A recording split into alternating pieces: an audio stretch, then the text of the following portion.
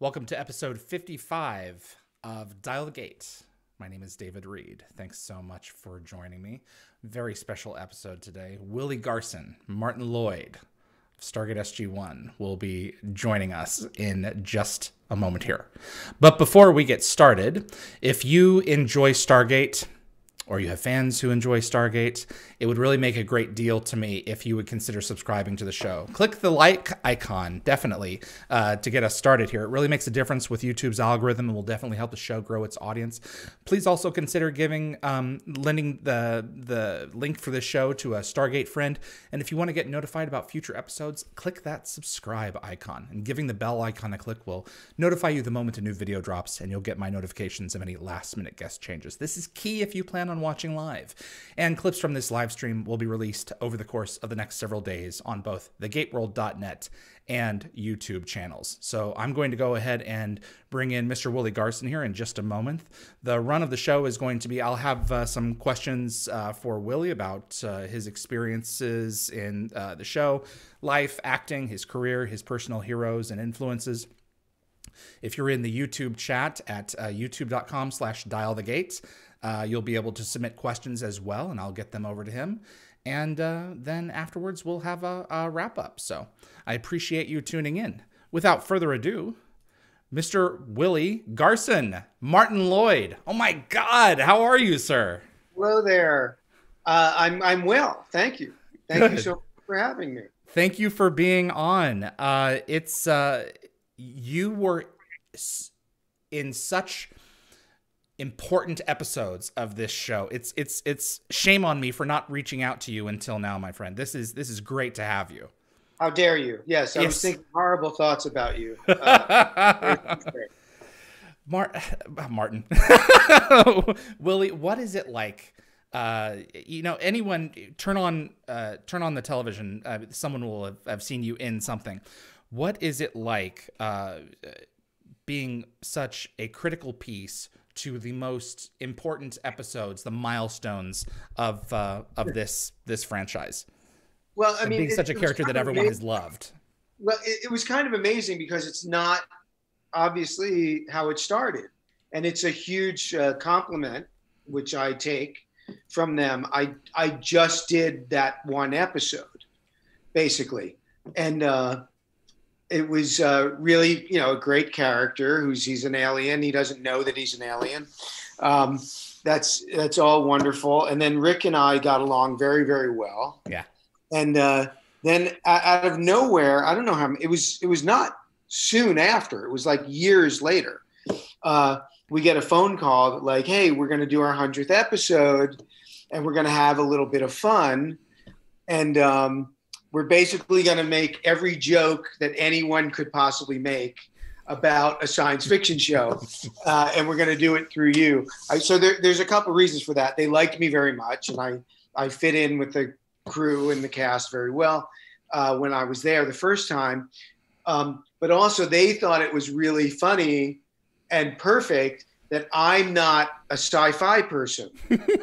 so I've done every science fiction show uh, other than I guess Babylon Five or something. but I've done, I've done all of them, and I don't watch any of it. I don't know anything about science fiction.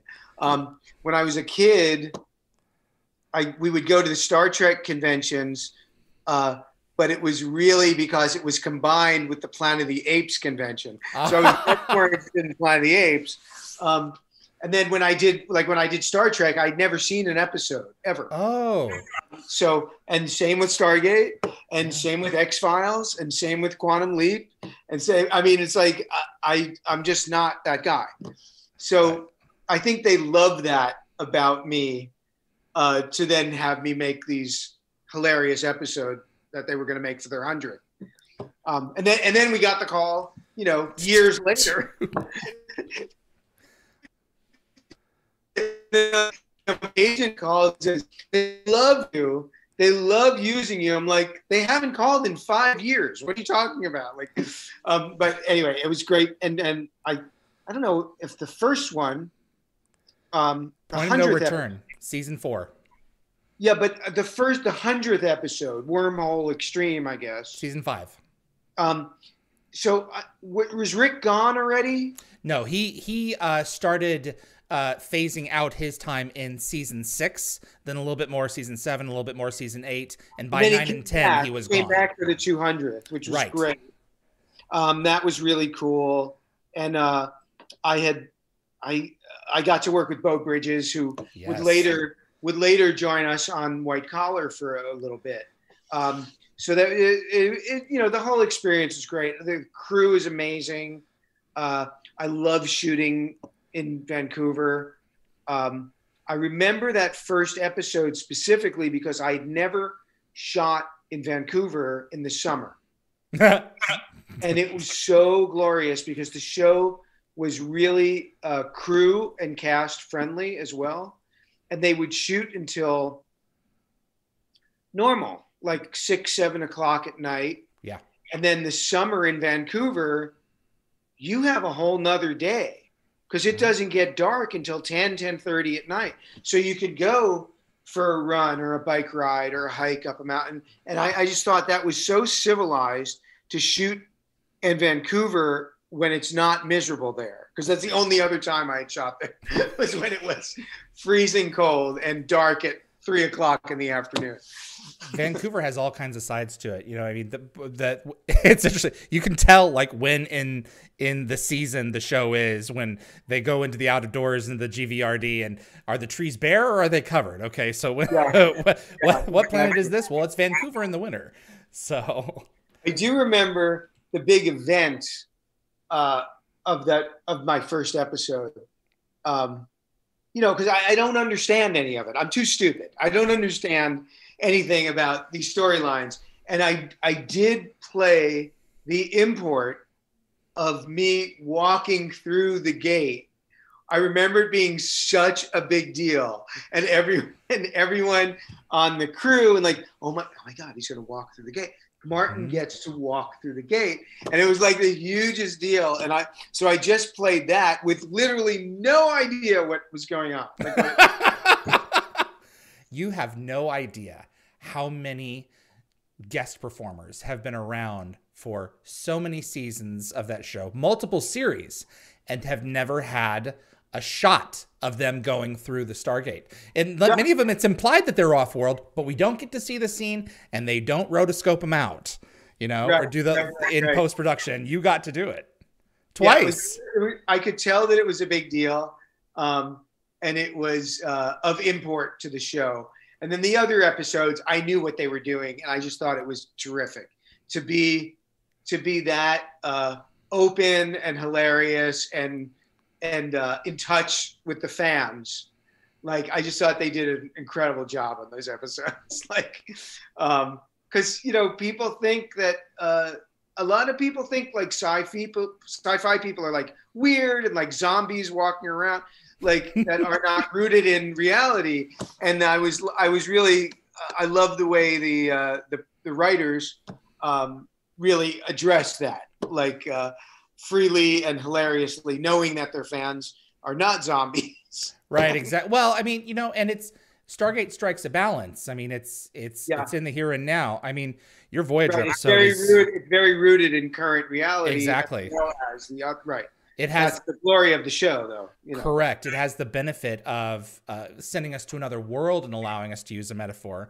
I mean, uh, your Voyager episode is one of my favorites. I mean, you may not be a, a Monean living underneath a, an ocean planet, but uh, you know, in this in this circumstance, it was a it was a chance to tell a story about a group of people who uh, left their world to try and go get help, and ended up, you know, being deserters. So Well, I mean, I we think- see the I think- consequences of that. I think what's interesting, I was just writing about this, and I was writing about, I'm writing a book about everything. Oh, And, uh, and when I got to the Stargate section, uh, is when it really hit me. I mean, it's why I've done a lot of science fiction, because basically it's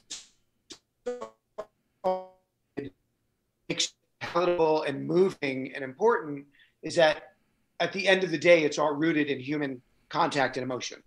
So it could be someone from another planet, but it ends up being the humanity that makes it correct. it makes them get saved or makes them move forward or whatever it is. But it all is rooted in humanity, and that's why people are drawn to it. Um, you know, Star Trek was ridiculous. I'd never seen an episode of Star Trek, and there were people on the crew who literally literally have been working there since 1968. Yeah.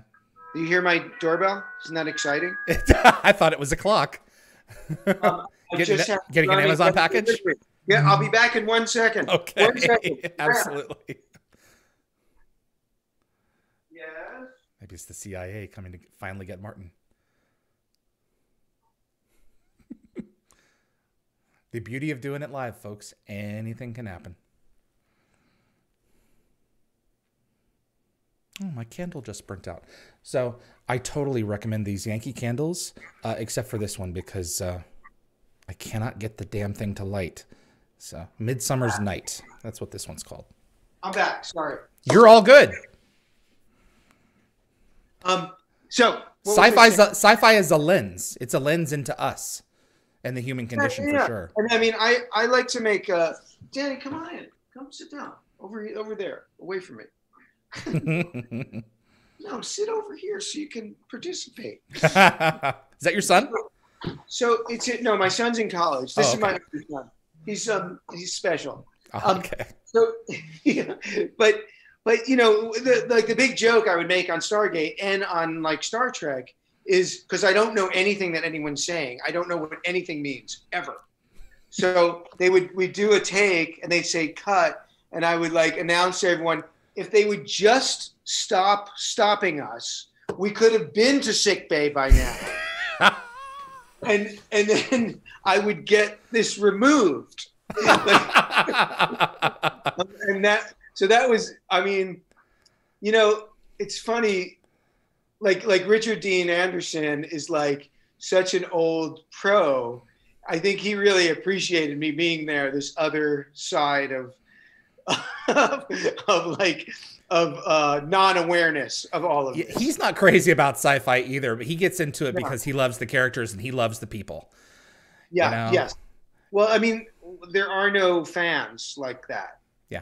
like in any other realm uh, of entertainment i mean you can do one episode of something and be like make a whole career out of it Mhm. I mean Absolutely. i did i did a convention there was a guy in the, in the booth next to me who had done like one episode of deep space nine and he does like conventions every weekend like it's Mhm. crazy that's crazy like level of commitment from fans And that there's yeah, well, yeah, there's there's there's enough of an interest in that community to keep that guy going, you know? And Yeah. it's so nice when you when you meet people that uh, uh, have been a part of a project uh, that has inspired you in some way or gotten you through a difficult time or something like that, and uh, the uh, the experience is a positive one because it's not always the case. yeah yeah yeah no that's true it is not always the case you're not wrong Right. how how did you get involved in your craft? What made you fall in love with acting? I was a kid, so easily fallen in love. Um, and uh, you know, so I started working when I was 13. So uh, I, someone in my town, they were casting a play in New York, and they needed a 13 year old. So I went in. I'd done like school plays and stuff. I went in and auditioned, and I got it. And they they hired three of us so we could rotate performances. Um, uh, the play was called The Winslow Boy. The role was The Winslow Boy, which sounds very fancy, but the kid is literally asleep on the couch for the entire play. I Oh think he my God. Um, so they rotated us, and then I was like hooked. Uh, and uh, you know, I didn't go on film until I was in my 20s or 21 when I came to California. That's when I started working in film and TV. Wow. Any uh, particular highlights over the course of your career where you have tackled a character that surprised you in ways that you didn't expect or forced you to grow in directions that you didn't anticipate?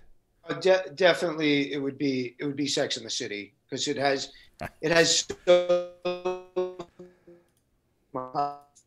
and uh, so and it's completely different than the way I auditioned for it.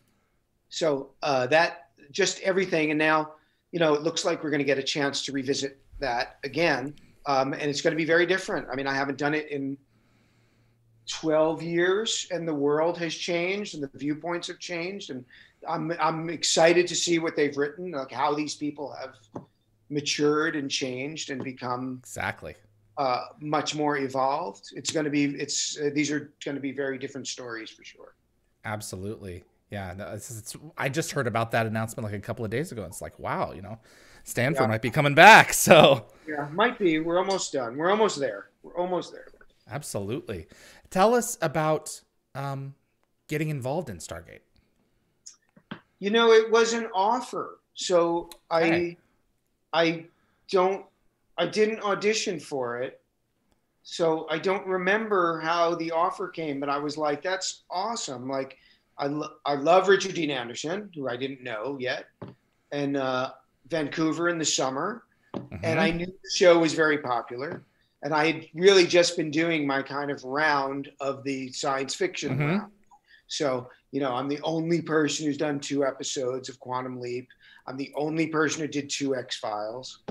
Uh, and then Star Trek. I don't know if Star Trek had happened yet um, when I did the first one, but yeah, it was around know, exactly around the same time. Yeah, around the same time. Yeah, and uh, so it was very, you know, it was, it was like interesting to me. And then I went up and literally just fell in love with Rick like the first day because he was like saying shitty things about science fiction to like whispering in my ear, like, uh, you know, like, oh, don't don't fall off the Milky Way or something. Like, I mean, it was like literally whispering things in my ear. Like, and I and I'm like, I don't know where I am. Mostly in a hotel room bathroom. Yeah, hotel like, room. I mean, luckily my character didn't know that he was an alien. So he, he suspected that he was, but he couldn't prove it. Right. But he's operating on a plane of reality more so. Exactly. Most, mostly drugged. His his yeah, there uh, you go. Which yeah, I, he was you know. using all kinds of all, all kinds of different uh, things. How was it d- discovering this character who was so off the wall and a, a, in many ways a caricature of the uh, Why thank you. well, yeah, no, a caricature of I'm trying to be kind to my community um, of of the more interesting members of us, you know, who believe in you know the uh, yeah. The, um, you know what I what what worked for me because I know nothing about the show or or science fiction was his innocence. Yeah, that's what I was ended up playing, and even when in the other episodes when he becomes this kind of asshole producer uh, this kind of stock character of asshole producer. Um, I, I liked there was still an innocence about him that he has no idea that these stories are coming to him uh, because they're actually from his former life uh, in, in, the cosmos or beyond. Pardon me to use your phrase, beyond the gate. No, absolutely. And Christopher Judge. Oh, great! I loved him. I loved him. He was Great. so cool. And that and the poor guy with all the makeup, uh, that guy, you know, I, I my heart felt for him uh, because, as you know from from Star Trek, I went through it. You, the set, well, you went much more. I mean, you were a. I mine was uh, four hours on and two hours off every day. As Riga, uh, okay. Yeah. Wow. But you know that Chris Judge that he had to do that every day mm-hmm. was like, are you kidding me right now? I mean, it probably took. I'm sure they got it down to like an hour probably to put it on, right. and then whatever it took to take it off. But dip his face every, in gold every single day.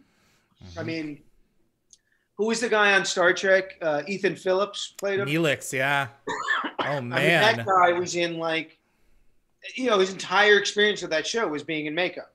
Mm-hmm. Like that that was his entire life was being in makeup and taking off makeup.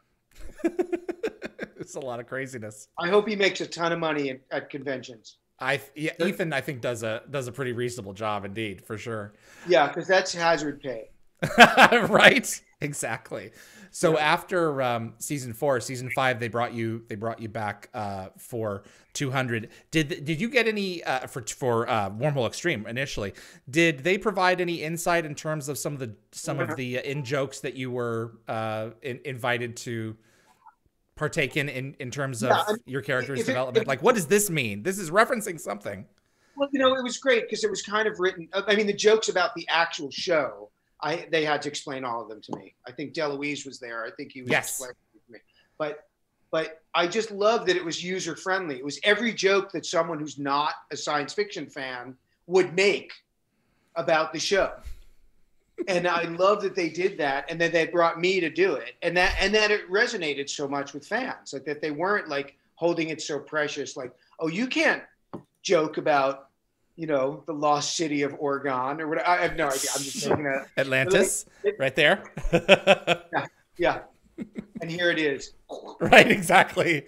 But that's what the show did so well. It it could tell serious stories with with more serious episodes, but at the end of the day, it never took itself too seriously.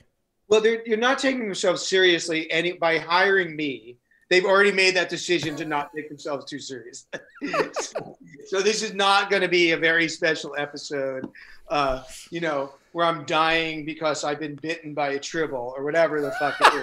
like, but like it's gonna be, it's gonna be more. It's gonna be more like a wink at the audience by having, certainly by having me back uh, for the hundredth, and then the two hundredth. I mean, the the two hundredth really took me by surprise. I would think I, so. I think they were like making, they were going to make a Stargate movie at that time, and it was like, so. Uh, but that was like I, I wasn't kidding when I had that conversation. My agent called and said, They love you. They want to bring you back again. And it was like, It's been five years. They don't love me that much. Uh, so, but it, but it was, you know, what a, what a joy. And everyone like all excited. There's a different energy on a set when it's like, oh, we're making a special episode. Uh, you know, Bobby's getting a new leg, you know, or whatever. whatever. like a special episode, a special episode energy surrounds us whole set. And that's really great to be there for, you know. Well, how many shows make it to 100 episodes is one thing. How many make now, it to 200? Now like, now like zero. Now like zero. Yeah, you know, because only 10 episodes like a season or whatever, but exactly. 200 shows. 200 I mean, is a lot. That's a ton of material, and what an honor to be brought back in for. We we went up to the, the, the they hadn't uh, yet shot season uh, uh, season ten episode seven or eight, whichever one it was. Yet they hadn't yet shot two hundred, and they were prepping for it. And we sat down with Brad and Rob, and we said, "Are you guys bringing Willie Garson back?" And they're like, "Oh yeah." I'm like, "Yes." Well, here's the thing. They were not going to, and because you said that, they made the call. there we go. Well, I you know, I'm happy to. You I'm at your Canadian service. Dollars. There's some Canadian dollars heading your way. Jeez, man. Almost you... valueless. Anyway, oh my gosh, all money at this point. Jeez. Yeah. Um, what was it like to then flip it on its head? Because in in the 100th episode, you had the the common sci-fi tropes, and in 200, it was specifically about all of the Stargate in jokes from all 199 well, they, episodes well, before. Well, well, they had been banking them. I mean, they had so many at that point, 200 episodes worth. Um, I just look at them like the the development of the character. At 100, he's kind of an asshole because he's going to be a TV producer, and this is how he thinks TV producers operate. And then in 200, now they're going to make the movie. now he's going to be in the movies. And now he's just become a total like Hollywood asshole. so, so I like got to ramp it up to be a bigger douchebag. Did you feel the intensity of the number of scenes that they were having to create over the that uh, couple week time frame. It's the biggest episode that really Stargate's done for 200. For 200. Did you well, or I mean, was that, you know, I not present felt, in that briefing room? Well, I definitely felt that they were gearing up towards the end and that they had a lot of things to answer. Uh, so it was definitely that. There was a lot of stuff going on. And I thought, I just remember, I don't remember the exact scene, but I remember this is really big. There's going on in this one scene. Um, I think it's, and De- DeLuise is in that scene, but there's like bodies everywhere. Yes. And I just thought, this is huge. This is really huge. Bigger than the average, uh, you know, basic cable show, basically, right. which what it was at the time.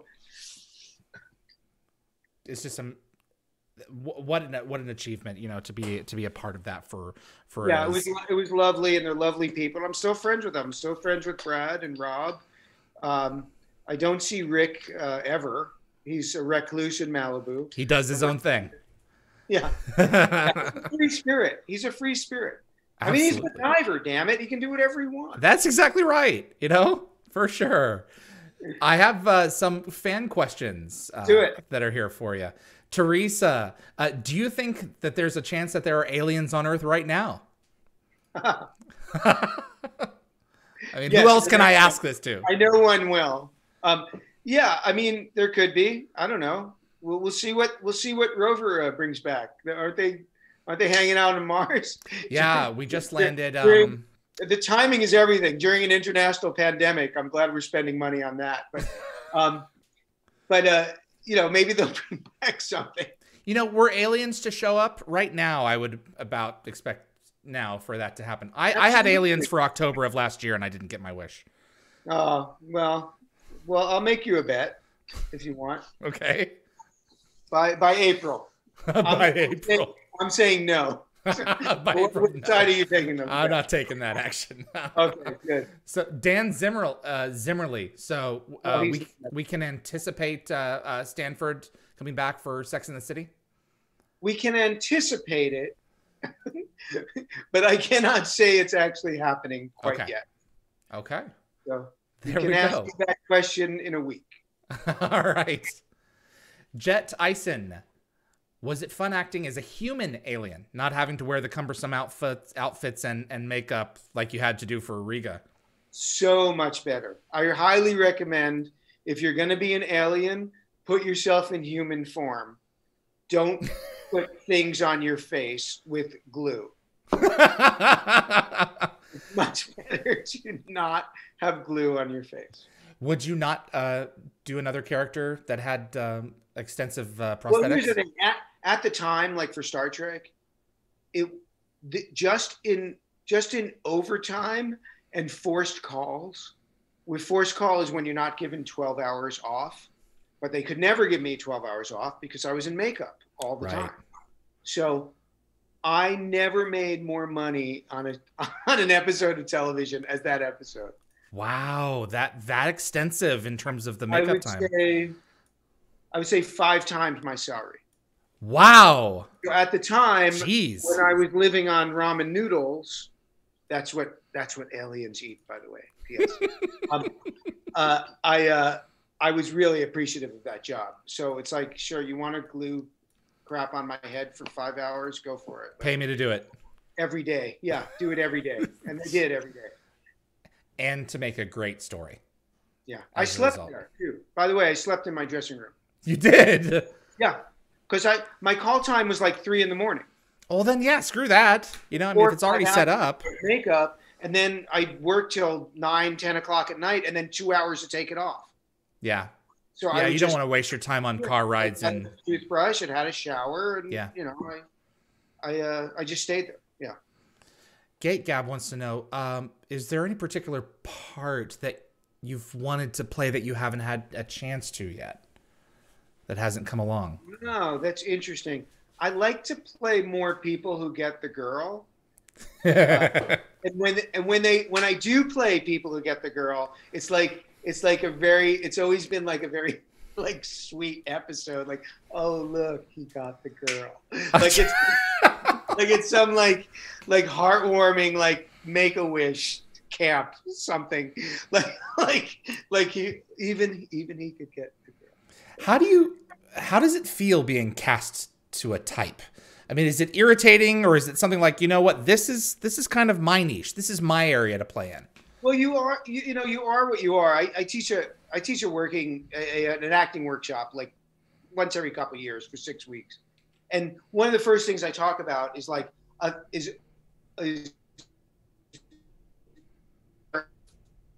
what thing are and then when you're aware of it, you can create. It, Willie, it. I lost you. Can you back up again and, and say what it is that you you teach in the yeah. class? I lost you. I teach, I teach about I teach about how knowing the physical properties of things, then you can create with them. So that's true with us as individuals. I can play a guy who thinks he looks like Brad Pitt to amazing comedy or pathos or whatever. I can't play a guy who looks like Brad Pitt. I look like I look like. But once I'm aware of that, I can now play a guy who thinks he looks like Brad. I can create. I can totally create with that. Um, and so that's, uh, you know, you're you're in your lane. You know, uh, everyone has their own journey as as an actor, and and you're going to play what you're going to play. Um, the sometimes if you know i have a pretty wide range so i get to play a bunch of different kind of characters um, and that's that ends up being as you get older in your career that ends up being the battle is like i know you know me as this but give me a shot at this right. and uh, luckily i've been able to deliver a few times in in various ways hopefully what, what's a role that you're most proud of you know I'd say the deepest, the deepest one for me would probably be Mozzie uh, on White Collar. It was the most like myself. I got to write a lot of it. That's where I started directing, um, and so, you know, the uh, the producer always says that Willie uses the script like a template, uh, not necessarily as a compliment, by the way um, and because I I would just I made that role very much my own, and that was really fun to do. It made me feel like a creator rather than just showing up. What ways did you get to expand yourself in in in playing that part that you didn't expect? I, I got to bring a lot of stuff, knowledge from my life, uh-huh. experience from my life, and write it in um, into the character. Uh, and that it was some of it was sneaky, and some of it was very obvious. Like uh, during the show, I was going through adopting my child, so we made Mozzie automatically. We just made Mozzie an, an, a foster child that he had been a foster child. So uh, they're like things that we could weave into the show, and that's that's the glory of going for a lot of episodes. You get you get more chance to explore, to expand the character. It's not just the you know like on Sex in the City. It's like the smart one, the slutty one, the, the whatever. But as you go on, these people become real people. That's what's great about a long run. Thank you for sharing that. Dan, 23. What was like to work with Claudia Black in 200? Oh, great. I mean, Vala. yeah, great actress. It was like totally ridiculous, um, the whole situation. And, uh, you know, I have nothing but fond memories of the people there. I, the the surprise to me was Beau Bridges showing up. Like, mm-hmm. like I thought, even you, even you are in this crazy world. Like, like I wouldn't be surprised if anyone walked in. You know. What did you think of that 200 script? The framing device is essentially a Treehouse of Horror Simpson style thing. Yeah. I mean, how off the wall was that? Were you just was your head spinning when you read that? it was very obvious that this was a very different episode, and which is great. They wanted that they cared so much. You know, in science fiction, as you know, fans are everything, and that we wanted to give the fans something really special, and they did because look at how look at how you know I only did three episodes. Look how it resonated the with impact. Fans. Like this is you know what is this twenty something years later? We're still talking about it. Yeah. Yeah, absolutely amazing. Raj, um, so Brad Brad Wright is working on uh, uh, developing a, a, fourth series. We're we're just yeah. hoping that it gets greenlit. Uh, would you be interested in in returning in some capacity? Maybe not as Martin, but as something else. This is what character actors do. I talk to Brad sometimes on the on the Twitter, and, uh, and uh, that's what us that's what the elderly call it. And uh, yeah, of course. I mean, it's a great world. And again, you know, as as an actor, besides that you want to tell interesting stories, you want to have a really wide and interesting fan base. And again, these are the best fans in the world. Like, why do you, you know, once you got them, you got them for life. Mm-hmm. Absolutely. Yeah. It's something that thing. I'm, I'm oh. hopefully not done working yet. So the, the thing about science fiction that I love is that I watched a lot of it when I was a kid, obviously, and I reinterpreted as an adult so much of it. and more more along the lines of oh this is what they were this is what they intended but i wasn't aware of as a kid That's and, great. but also things that apply in my life that the writer didn't even know about where it where it struck home Right. and i think not just sci-fi does that the best entertainment does that It's great. It's funny you say that because I showed my son a movie that I realized halfway through that I had showed it. I had shown it to him like four or five years ago, but it had no resonance then. But now at 19, he was like all up in it. right Um, so and it was it was just like he like remembered it. He goes, "Oh, when I saw that last time, that meant nothing to me, uh, that scene, and now it means everything to me." You know, and that was very cool. what's the film Porky's, no, no, the the, the film is um, Dead Poet Society. absolutely carpe diem I wish it was Porky's. So. oh my god. So you occasionally teach acting classes. Any advice to anyone wanting to get into this field? Which field? Uh, uh, television and film acting. Oh, no, just do it. Do it all the time. Never not do it. Like I was just talking to my son about this. When I came to California, I I built sets at every crappy theater that I could be involved in. I did small parts in any play that I could do.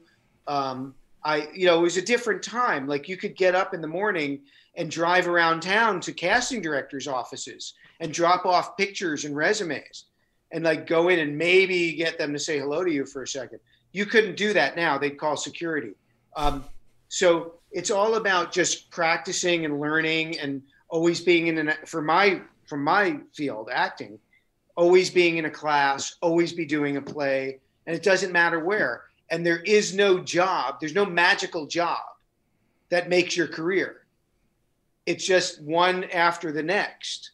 I did really big jobs and then found myself, you know, drinking coffee out of a styrofoam cup at four in the morning uh, for a hundred dollars, like out in the middle of nowhere, uh, coming off of a really fancy job. So it's a, it's a it's a stack of jobs that makes a career, but the same stack is needed to get to a career. And I would bet that that potentially, you know, some of those less paying, less fanciful jobs provide you with more fulfillment. Sometimes, sometimes, um, sometimes not. Sometimes it's uh, it's people who somehow are shooting something and they were not ready to shoot it. That's the bad experience that most people have. because you're ready to go and they're not. Yeah. Just because you can direct something doesn't mean that you should be. Right. And that happens a lot. Right. How much how much work did you have to put yourself through? How much schooling, you know, to direct? Uh, I mean, I I didn't direct till I had been standing on sets for 30 years. Yeah. And then I had, and then I still had to uh, shadow two directors over two months uh, to see how it's done. And what I learned about, which I did not know, because some of them are so good, what I did not know is the amount of preparation. And that's who I that's who I studied the most from. I studied most from a guy who had been an assistant director who became a director. So he came at it from a point of preparation and he taught me so much and that's why i i was really good at it because i was a lunatic about preparing Yeah. Yeah, we've talked with a number of the diff- uh, different uh, Stargate directors uh, uh, throughout the the production, and if they didn't get at least two or three weeks, you know, depending on the size of what the the script was, they could not be ready. You know, it was not physically possible. right and then you're playing catch up and you're sitting up all night trying to you know look at a scene in act three that you know that you didn't get a chance to get to and you know whatever. Right. And then editing on top of that. Then you have to go with an editor and cut it all together. it's funny though. I like that work.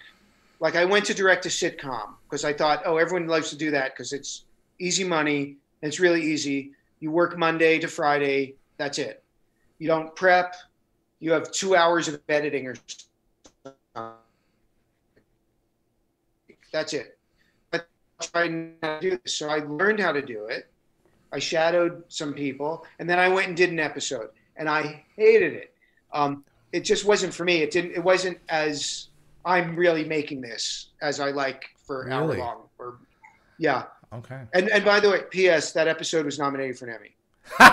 the episode that you hated. What was it again? It was a show called Girl Meets World. Oh, okay, yeah. It was a very special episode. It wasn't a jokey episode. It was an episode about autism and Asperger's. Wow. And uh, a kid on the show, they think he has Asperger's. And uh, so it's a really, you know, it's an emotional episode. And the, the kids were amazing. I grew up with them. I've done many Boy Meets World. I grew up with these, with all these kids. So I know, I know them really well, and that's why they let me do it. And uh, and that that was their, they they got nominated for best children's programming that year, and that was the episode that they used to get nominated. wow. That's really cool, man. Yeah. Willie, I appreciate you um, taking time and stopping by to do uh, to do our show. You know, Stargate has had some pretty significant milestones. You were definitely in some of of the bigger ones, and Martin is a character that is very close to my heart and uh, and and many fans' hearts out there. So it's a, a pleasure to sit down and talk with you and, and reminisce about about such a a satisfying product and and awesome. a, a great piece of Stargate history. Well, thanks for having me. Uh, it's an honor, and uh, it's an honor to be in these shows that mean so much to the people who watch them. You know. Thank you so much, sir. I right. appreciate your time and you take care of yourself, okay? All right, you take care. Stay safe. Thank you. Be well. Bye bye. Willie Garson, everyone. Martin Lloyd on Stargate SG 1. All right. Dial the Gate is brought to you every week for free, and we do appreciate you watching. But if you want to support the show further, buy yourself some of our themed swag. We are now offering t shirts, tank tops, sweatshirts, and hoodies for all ages in a variety of sizes and colors at Redbubble. We currently offer four themed designs and hope to add more in the future. The word cloud designs have both a solid background and transparent options, so you have some flexibility in choosing a light or a dark color. So keep that in mind when you're making your selection. And checkout is fast and easy. You can use your Amazon or PayPal account. Just visit dialthegate.redbubble.com. And thanks for your support. We are giving away a piece of the Stargate DHD from the Pegasus Galaxy. For the month of February, Dial the Gate is partnering with Empire Movie Props to give away this piece of the DHD from Phantoms. To enter to win, use a desktop or laptop computer and visit dialthegate.com. Scroll down to submit trivia questions. Your trivia may be used in a future episode of Dial the Gate. There's three slots for uh, trivia one easy, one medium, one hard. Only one needs to be filled in, and you're more than welcome to submit up to three. Uh, the submission form does not currently work for mobile devices. Be sure to get this in before March the 1st, and if you're the lucky winner, I'll be notifying you via your email. Big thanks to Empire Movie Props for making this item available to a member of our audience. I do have a couple of questions uh, that I've been meaning to get to. Uh, Teresa MC, uh, Jason Momoa, I understand is an accomplished artist. Do you have any of your of his works? I do not have actually any of of uh, Jason's pieces. Tom Hudson, what is the spacesuit in the background? What movie is that from? That is from a show called Stargate Universe, and that is Matthew Scott's spacesuit from Destiny. So SGU is a good show. You should check it out. All right. And um, can we talk about getting our paws on the Shepard McKay Harmony portrait for giveaways? That portrait was actually uh, uh, sold at PropWorks. It was about six feet tall, if I remember correctly. Absolutely an enormous, uh, enormous thing. And I can't remember how much it went for, but that information's on liveauctioneers.com. Next week's guest lineup. So we have four coming your way this coming weekend. And two are on Saturday and two are on Sunday.